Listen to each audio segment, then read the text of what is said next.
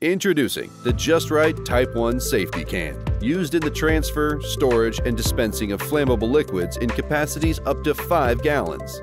These cans are approved by FM, UL, ULC, and TUV. They meet OSHA and NFPA requirements. They feature a single spout for filling and pouring, a self-closing lid that snaps shut upon release. The pressure relief cap allows containment to vent automatically at 3 to 5 psi to prevent rupture or explosion in the event of a fire. Stainless steel flame arrestor prevents flashback ignition. Leak-proof construction that controls spills.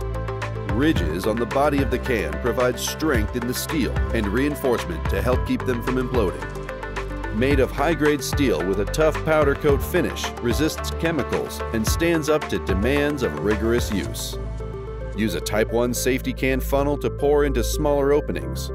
This polypropylene funnel attaches to the spout of Type 1 safety cans that are sized 1 gallon, 4 liter, and larger.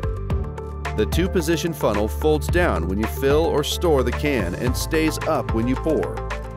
Cans are available in various colors to help identify the contents. Red for gas, yellow for diesel, blue for kerosene, and green for oils.